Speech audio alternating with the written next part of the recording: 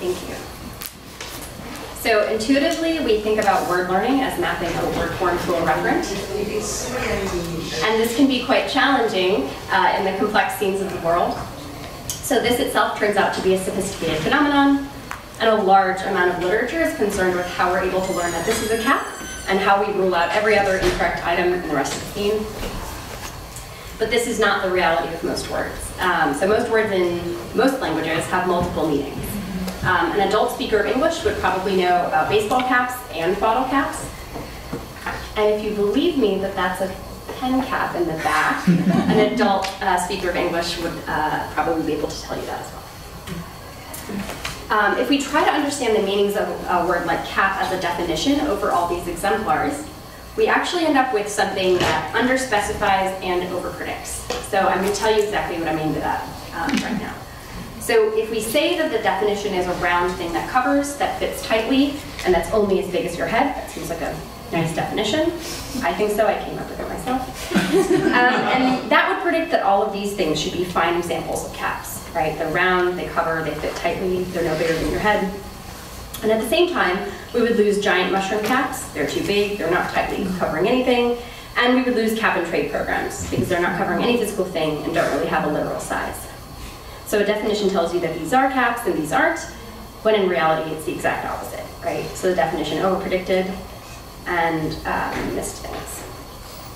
So you probably don't want to just abstract over these exemplars to understand this word, right? We probably want to store these experiences with these particular meanings and trying to learn them.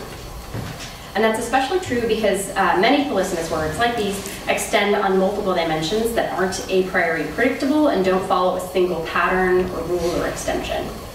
So for example, I can talk about a pit in someone's backyard, and it seems like a straightforward shape type of extension to also label an orchestra pit and an armpit. And the shape still seems to hold in the case of a fire pit, and maybe a trading pit, although the trading pit is already starting to get away from our rule here, um, our shape rule, because it's really just a room with a lot of stuff on the ceiling. Um, and it doesn't just mean its shape, right? Because we don't just call any hole in the ground a pit. We don't call ditches or pools pits. And critically, um, we can actually learn entirely different extensions that don't rely on that rule I just talked about. Um, so both of these are called fire pits, and it's not because they're like impressions in the ground in any way. Um, they're closer to like bowls or torches. Um, it's because of their function rather than their shape.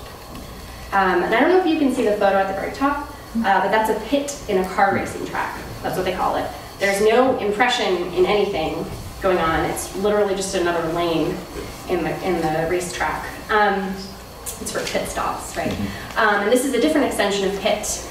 Um, yeah, and it doesn't seem to be uh, this particular function or that particular shape anymore. But there's something about it that makes it similar.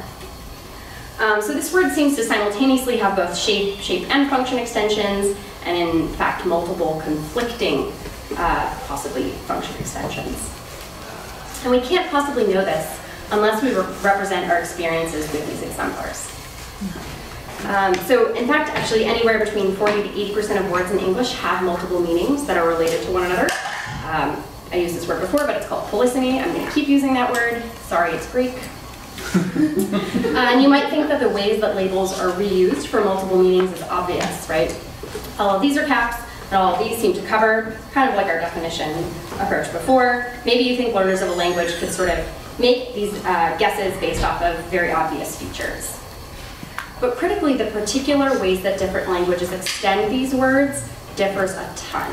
So English calls these caps, and we would call these other things lids.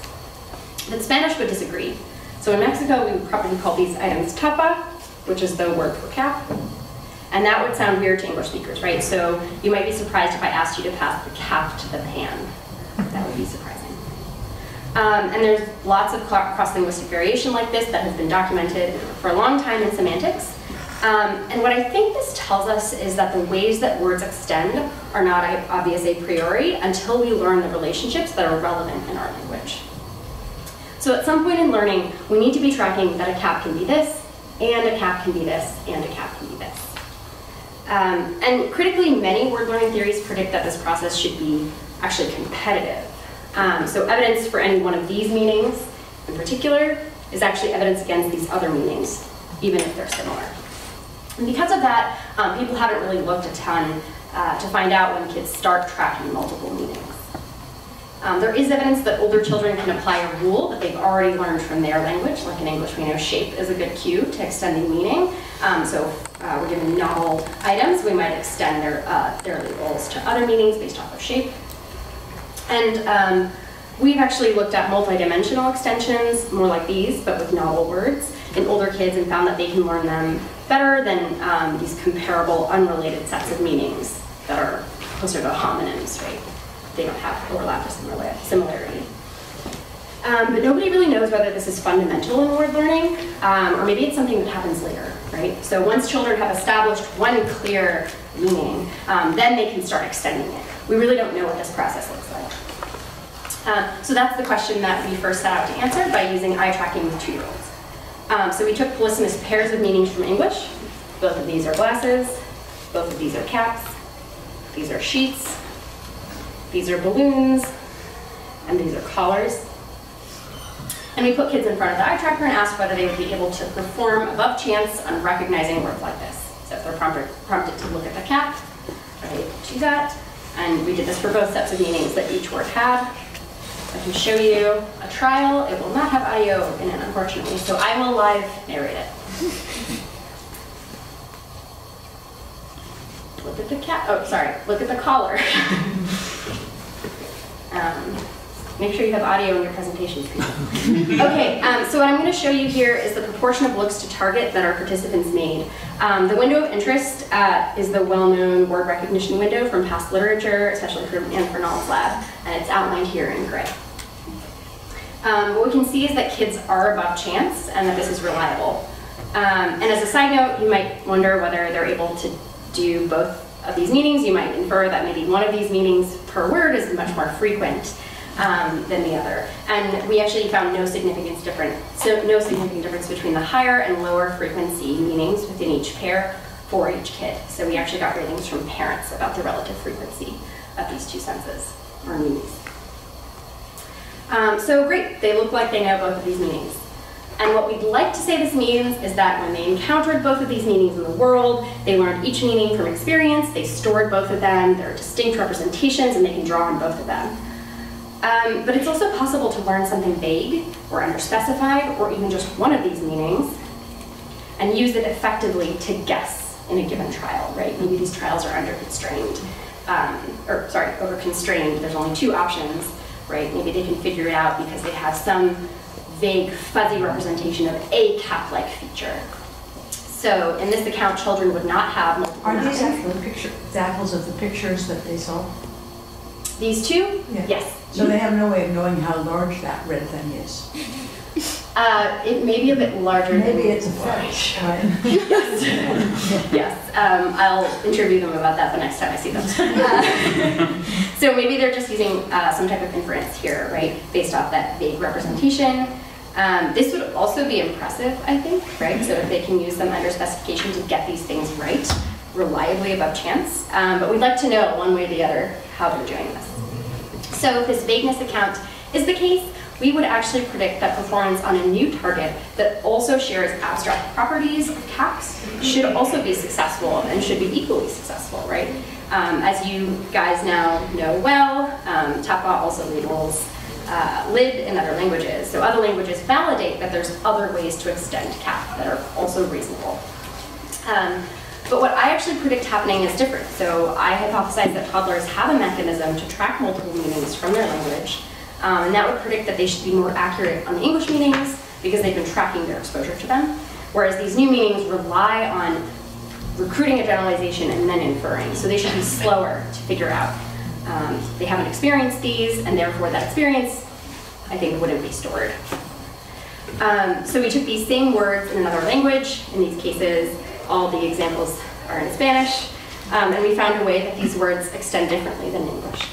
So in several dialects of Spanish, you can also use gafas to refer to goggles, tapa to refer to lids, hoja to refer to leaf, Globo refers to both globe and balloon, and collar also means necklace.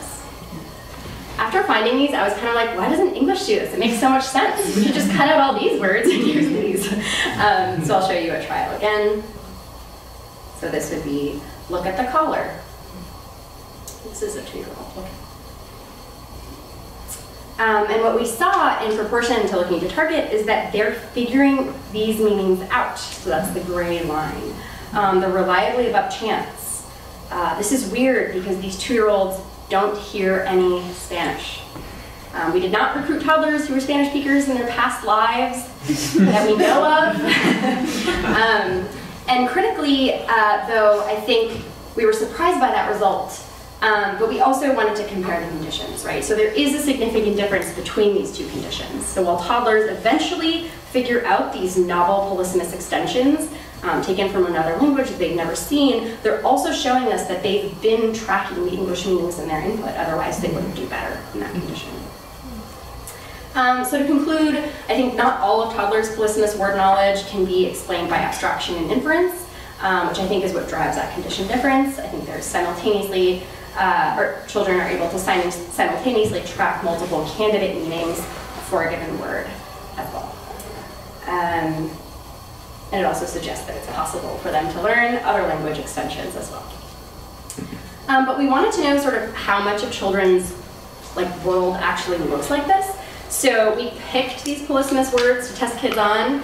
Um, we have no idea whether this is actually something that's prevalent in their lives, right? Maybe their parents are busy constraining their experience to one meaning for like years and years until they can finally, um, you know, be let loose on the polysemous world. Uh, so maybe this is just a cool trick they can do in the lab, but it's not something that they contend with, um, or maybe not until they're older. So we took child-directed speech corpora that were transcribed um, from the CHILDES database, um, and we looked at utterances containing the 200 most highly frequent nouns, verbs, and adjectives during the first three uh, years of life. And instead of hand coding these senses, which would take years, literally, um, we used a topic modeling technique. Um, so what a topic model does is find various consistent contexts in which our target words appear. Um, these contexts or topics have been interpreted in past literature uh, to sort of evoke the various senses that we might uh, associate with a given word. So um, these are example topics coming out of past work from uh, Tom Griffiths. And um, each list or column that you see is a topic. Each one of these words has a probability associated with it. Um, and so it's ordered in descending probability. Um, and you can see here that the word bank shows up in money contexts, but also in contexts involving water and rivers, and also oil banks. I don't really know anything about that, but I gather it's a sense reserves or something. Yeah. Oil reserves, yeah. Um, and critically not confused with the other type of reserve, uh, the bank reserve. Um, and so the other words contained in those topics tell you something about the meaning uh, or the context in which the word can appear. Um, and here are some topics uh, that we got from CHILDES. Um, so these are topics for the word water, or topics in which the word water appears. Um, we didn't look for bank because we did not expect one-year-olds to hear that. um, and uh, at first they look kind of messy. I think they seem really hard to summarize. We have to sort of read through them and make sense of them. And I think some of them are a little bit like splitting things in a too fine-grained way or else generalizing across contexts that we may not think uh, genuinely uh, should be uh, put together. Um, but we can look at them and maybe if we look at the first one, the topic outlined in green, that might be associated with drinking water, right? Um, so the blue one might be associated with water you swim in, um, which can look totally different than drinking water, right? It might be brown water in a pond, um, right? So it would definitely appear in different contexts and might actually, at the start of learning, seem really different to children. Um, the orange one with the water that falls from the sky, which we call rain, um, that often ends up, uh, I think this is different because it's a little bit about rain and it's also a little bit about water sort of being on your or like on your objects, right? And um, that also looks different, I think, to a child because water that falls from the sky, you really, the way you see it is kind of like a darkening of the objects around you, which is also perceptually a different experience. And I think that you have to integrate that to learn it's the same thing, um, that you swim in, the same thing that you drink. Um, and what we just did was sort of very supervised, right? We looked at each one of these and we said, oh, I know what this one this is this meaning of the word. Um, and that would also take forever to do. Um, so what we can do is actually um, find attested meanings from the WordNet database and do this automatically. So WordNet has enumerated senses for most words. We can calculate the overlap between those senses and our topics, and from that we can produce a count of how many senses there are per word that we modeled. So what I'll show you here is the average number of senses that a child hears at each age um, for the words we modeled. And uh, critically, this collapses over various types of ambiguity, so both polysemy and homonymy would be counted here. Um, so yeah, we don't at present have a way to distinguish between the two. Um, so starting with the first year of life, kids are hearing close to two meanings per word. Um, and it increases from there. Uh, so by two years, they're hearing about three senses per word. And maybe you're worried that this modeling technique is detecting these two senses, but it's really only one dominant sense that's accounting for most of the uses that a child hears, in which case they may not need to track multiple senses or they may not get the opportunity to. So we also calculated how dominant the highest frequency sense was at each age. So starting with the first year of life, the most highly frequent sense is only about 50% of the input of that word, right? So they're already hearing other senses up to 50% of the time. Um, and it only goes down from there uh, as you age because more senses are introduced, right? Um, and uh, so what we think this means is that the input is varied across multiple meanings rather than being highly skewed towards one dominant sense. Um, so I think there's a lot of uh, questions we'd like to ask here, um, questions like how are these multiple meanings structured, um, and also how does polysemy affect the rest of your learning environment?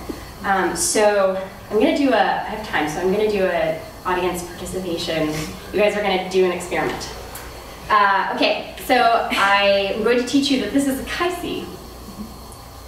And then I will ask you to point to the kaisi.